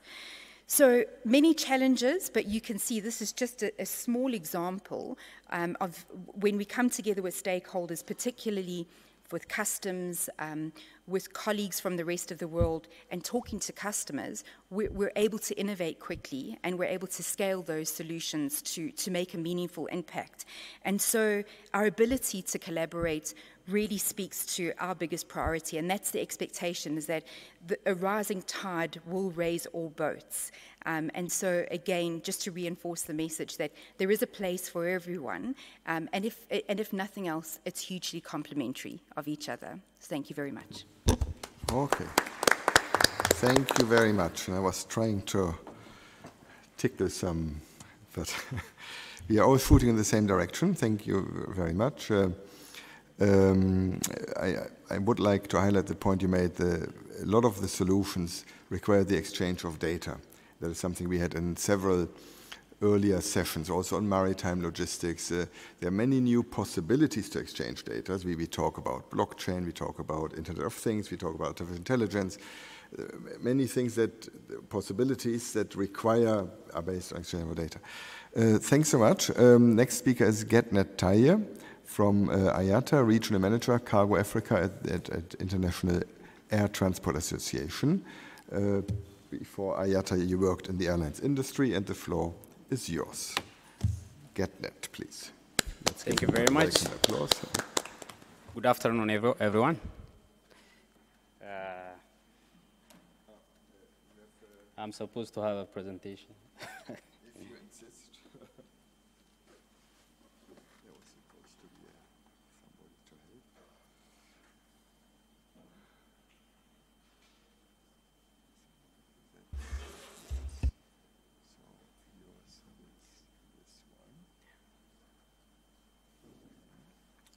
Okay, my name is Getnet uh. Uh, I work for IATA uh, in charge of the sub-Sahara region uh, for cargo. Uh, let me start by uh, briefly explaining what IATA is. IATA stands for International Air Transport Association. it's a global trade association for world airlines, and it was founded in 1945 by 57 airlines. And currently we represent uh, 287 passenger and cargo airlines, which is 84% of the global uh, traffic.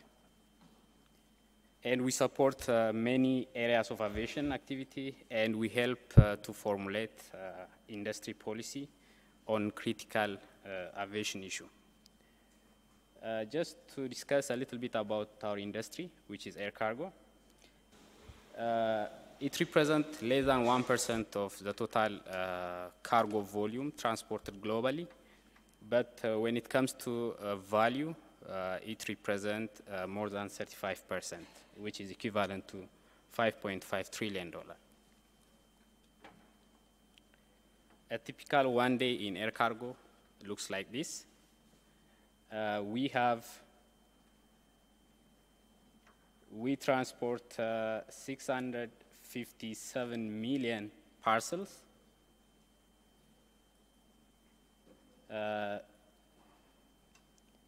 and uh, more than 200 uh, horses and uh, sorry.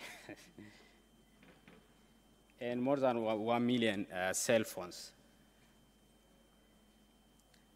Uh, 340 billion letters and 6.7 billion postal parcels are transported annually. Uh, airmail represent only 3% of the, the cargo business for, for the industry. Uh, however, with the growth of e-commerce activity, a, a, significant expansion is anticipated. To, over, to overcome the challenge, the airmail industry will face, uh, IATA strengthen, strengthen its cooperation with uh, postal authorities, especially with UPU, and develop standard and procedure uh, concerning the handling of mails. there is a significant growth in e-commerce uh, industry. Just if we see one of the big global player, Alibaba, uh, they have experienced uh, uh more than 54% growth, uh, single day growth in 2015 compared to 2014. And as it was mentioned earlier by my colleague from UPU, the industry is exp experiencing a decline in uh, letter and uh, postcard business. But this is getting offset by uh, the increase in small parcels and packets. Postal operators and airlines have to redefine their models and cope with a new set of operational challenge. So for that reason, we are closely working with, uh, with UPU, and we have also uh, our own uh, airmail uh, board, which is currently making a gap analysis between the business process of the, the airmail and the business process of e-commerce. And this board uh, and the cargo transformation team will look into the service that will be required to develop uh, the new standard that will, that will arise. So these are the challenges of our industry. Uh, one of the challenges is trade war uh, infrastructure investment, border management and efficiency, uh, specialized supply chain, safety and security is another concern, and industry, industry uh, digitization. And for, to support this, to cope up with this challenge, IATA came up with this program. It's called uh, Simplifying the Business. And we, uh, it had these, uh, these six goals. Uh, to make the air cargo industry uh, easier, smarter, and faster. So under the Simplifying the Business uh, project, we have uh, these portfolio projects. The first one, which I'm sure many, of, many, many, of you are familiar with, is e-freight and e-air waybill project. This is about getting the paper document out of the cargo supply chain. The other one is one record, uh, this is creating a single digital record for, for a shipment, which will be owned by a data owner. It can be airline or shipper. Then it will be the data will be accessed on a need-to-know base. Uh, interactive cargo. This one is all about making the, the, the cargo talk. Uh, what we know is cargo doesn't talk, so whatever happened to cargo, it will just uh, go silent. But now, uh, cargo is going to send real-time tracking data to, to the shippers. So if there's any inconveniency uh, or any discrepancy uh, throughout the supply chain, then uh, the, the, the, shipper or the customer will get uh, the message. And we have also other programs on facility modernization, on database collection, and also on cargo community systems. So let's see uh, how the shipment journey looks like uh, today, uh, because this has a very uh, close relationship with the last mile delivery. In average today, uh, uh, an air cargo takes six days to be delivered at the consignee point, and five days out of these six days are spent for the cargo to, waiting to be, to be moved or to be uplifted. It, it takes only less than a day uh, for a cargo to fly from origin to destination. So we need to improve the process. And uh, we did a study and we found out this result. Uh, these are uh, the, the ones highlighted with yellow and red are the areas that are uh, consuming a lot of time the, in, the, in the supply chain. So if we see, for example, at origin where the cargo or uh, postal parcel is going to be picked, it will take up to 1.5 days uh, to be loaded on the aircraft. And if, you, if we see the destination, uh, it takes up to three days to clear that shipment out of the warehouse at destination. So we need to, to improve this uh, to minimize the time uh, spent for, for transporting the air cargo. Uh, for this, we need to, the industry has to be supported by, uh, by the government and authorities. Uh, we basically uh, engage authorities, including our partners like, like WCO, to first countries to, to, to ratify the international treaties. Uh, these treaties are uh, the uh, Montreal, mainly the two treaties, Montreal Convention 1999 and Montreal Protocol 2004. Uh, these treaties support the replacement of paper documents by electronic document. So the first step to digitize the process is uh, countries uh, to, to, to ratify the treaties. Then we start uh, the work. So in Africa, we do a lot of work. Once a country ratifies the treaties, that's a green light to start our engagement with the authorities. So uh, we, uh, even with, uh, if we see the, with the ACI, the Advanced Cargo Information, we have been helping countries. In 2018 alone, uh, we have hel helped uh, five countries in Africa to successfully implement Advanced Cargo Information. So the other two are the WCO uh, uh, Kyoto Convention and the World Trade Organization Trade Facilitation Agreement. So countries have to also uh, sign and implement uh, these uh, international treaties. So that's it uh, for me. So if you have any question, I'll be available to answer your questions. Thank you very much. Okay. Thank you very, very much. Um, our next speaker is Evariste, long-standing partner from the AC. He just said he might have a presentation. I don't want to, to cut, cut you off, but I, I think uh, we have seen the, the, discussion, the engagement. So, Evariste, um, we, we, work a lot in the EAC. Uh, in fact, tomorrow we have a, a ministerial, uh, trade ministers, where we will have a declaration, uh, ministerial declaration on trade facilitation. We will launch a regional trade station index. We will um, sign a, a sort of new agreement with EAC and TradeMark to continue our collaboration. So very happy to have Evariste here, and if it's okay with you, you, you stand, you have the 30% extra energy and, and speak from, from the podium, if that's fine with you. Thank you very much. Let's give applause to Evariste.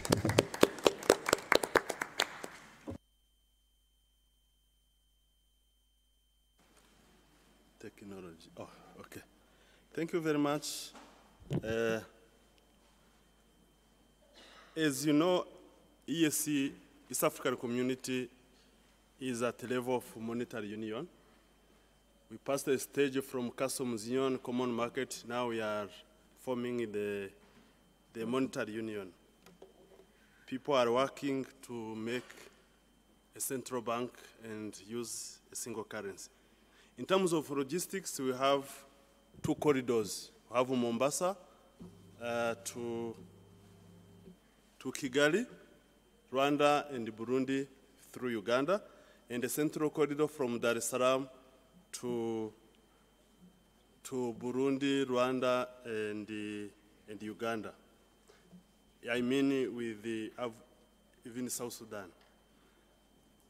Uh, only two countries are not landlocked, uh, four are landlocked.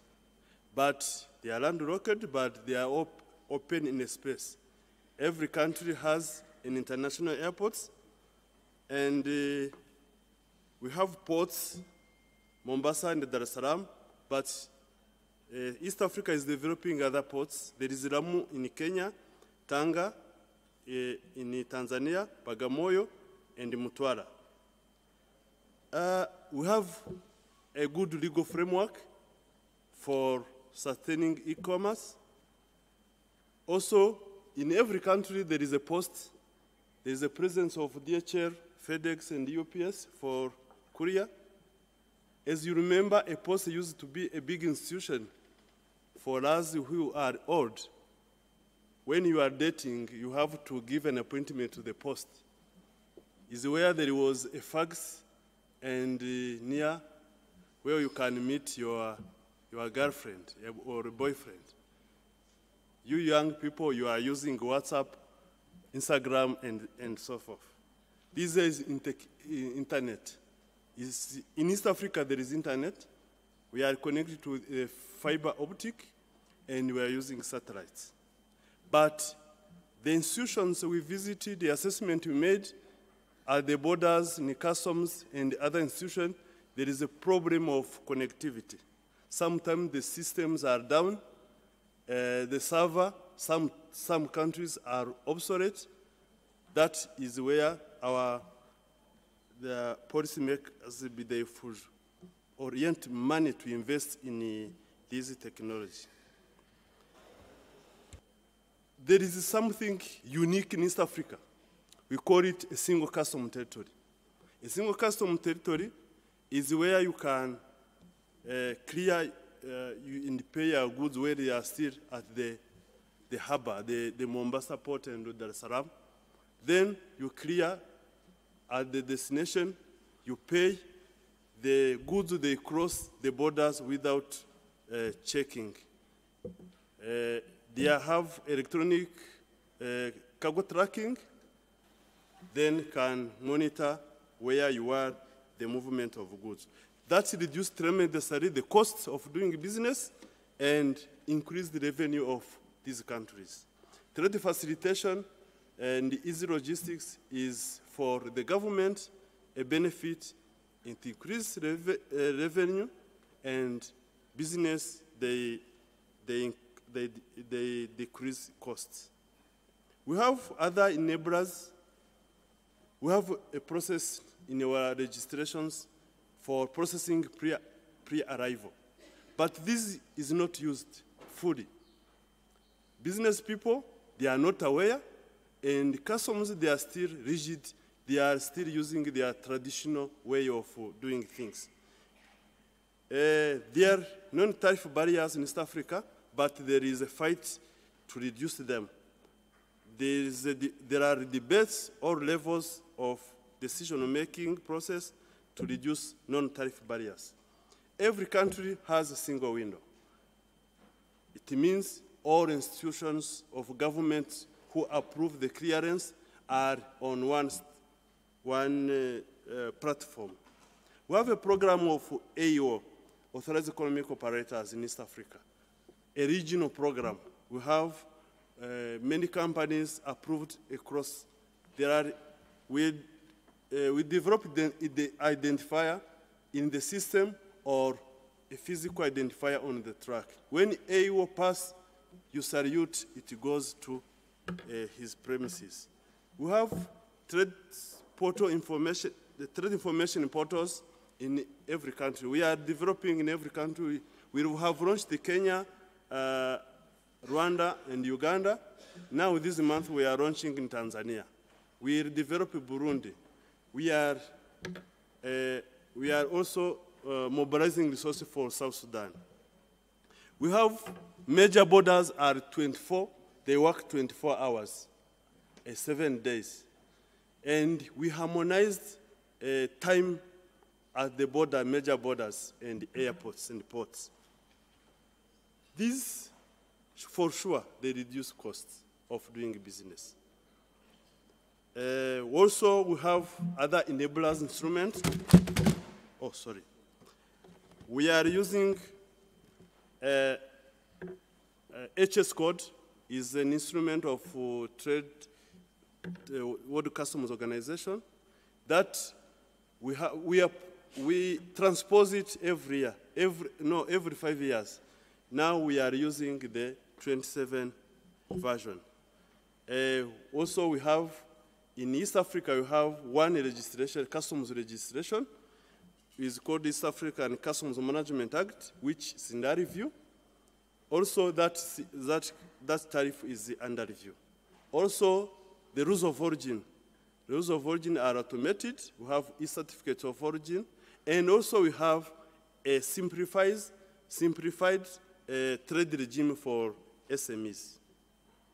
Also, uh, the potential, we, we work closely with the private sector, uh, the industry, the East African Business Council, the businessman, uh, the businessmen, and uh, uh, the cre uh, clear Clearing Agents Association of East Africa.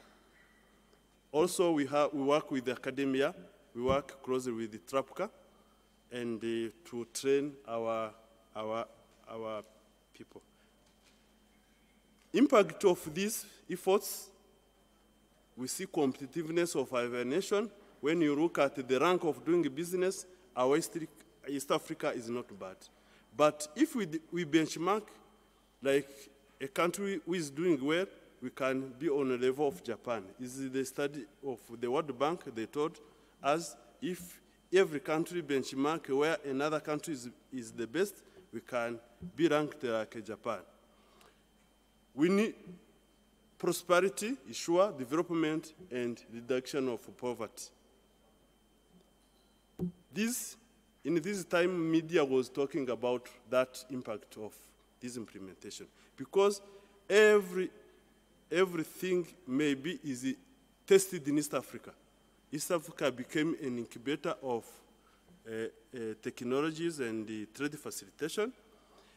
For example, East African newspaper said for Rwanda, the electronic single window saw clearance times for, uh, from 11 days to 10 hours, saving business 6.8 million in 2013 alone. Uganda Revenue Authority Electronic Cargo Tracking Customs Management System saw 70% reduction in transit and clearance time saving trade uh, 57 million annually. Another, uh, East African Single Custom Territory also improved the transit time to major cities from uh, the, uh, the ports, reducing time and trade costs and improving competitiveness. Uh, our time release study we made in Dar es Salaam and the Central Corridor and, uh, and uh, the Northern Corridor used to use 24 hours to, to transport goods from Mombasa to Kampala. 24 days. Now is four days. From Dar es Salaam to Kigali is four days. We have challenges. We see when I was visiting the borders last week, uh, I there is a problem of mindset. People, they want to do as they used to do. Like clearing. We have a window of pre-clearance of goods before they arrive. You can use a photocopy. You can, but the clearing agents, they don't embrace. Even in customs, they are the same level. We need change mindset, awareness, and the capacity building of the people too, because they were claiming to expand the parking. And I told them, uh, no donor will come to expand the parking. Even this one is enough. Even you should see what use. You should not stop good here. You should clear the good they go, where they are destined. There are other border agents. Uh, customs is in advance in using the modern instrument, but there are other agencies which are still lagging behind.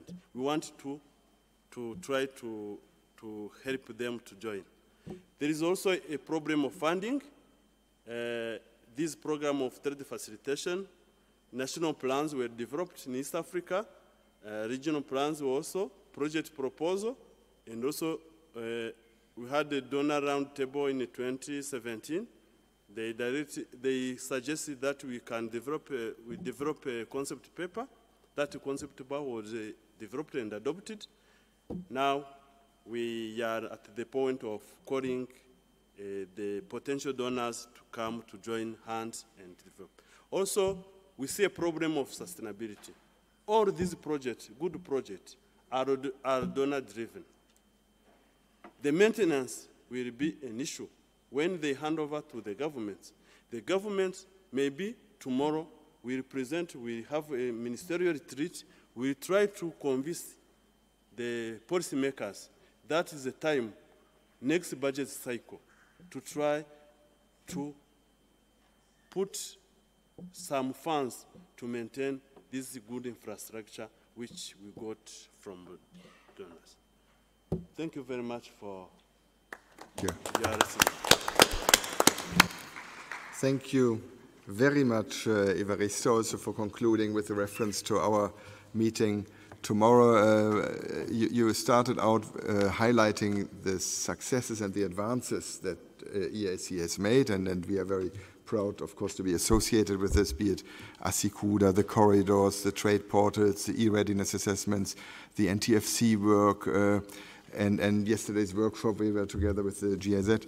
But you are not sleeping on your laurels. You are not saying we are the best REC in Africa with uh, doing business. No, we want to, to continue to improve, and, and I think our work tomorrow will be very much in, in this direction. Thank you very much. Uh, as warned before, we have time really now for one question. I would be happy to give it to the gentleman whom I had to cut off before, if you have a question to this panel. Otherwise, I would open the floor. and kindly introduce yourself. Uh, my question, uh, address to me, to Mr. Frederick and Vanessa. Uh, what measures have been taken to address uh, rural, physic rural physical addressing, and if they be willing to, or they be willing or open to solutions?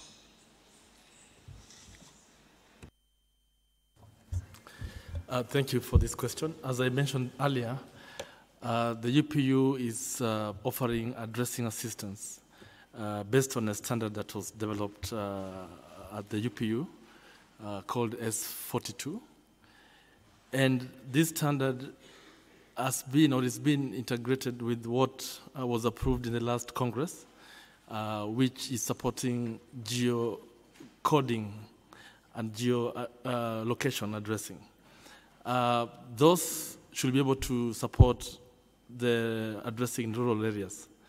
But ultimately, the drive is national. The UPU provides assistance, technical assistance. Uh, as, I, as, I, mentioned, Kenya uh, has launched um, such an initiative uh, through a tender that was floated, uh, I think, uh, one month ago.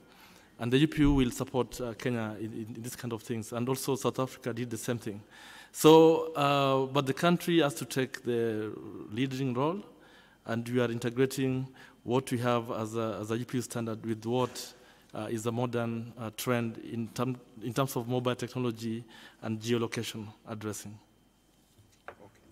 Yeah, thank you very much. Um, I would like us to give a big applause to those on the, you wanted to answer to that question as well? If I may. Please, um, the moderator so, gives you the floor. Thank you. So, just very, very briefly, I think as far as um, accessing and servicing rural areas, we, as DHL, for instance, we largely take the lead from the local postal authority because that really speaks to their mandates. And, and Frederick made the point is that it's a constitutional right um, to have access to postal services.